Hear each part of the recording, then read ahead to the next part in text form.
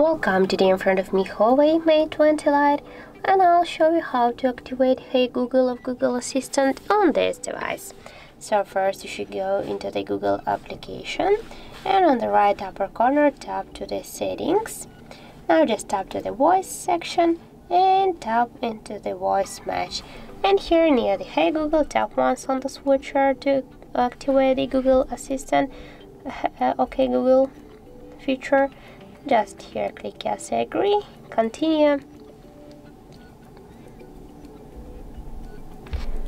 Uh, okay now we'll just tap here to not now. And as can you see our hey google is activated on our device. So that's how it looks. Thank you guys for watching. And if you find this video helpful don't forget to leave a like comment and to subscribe our channel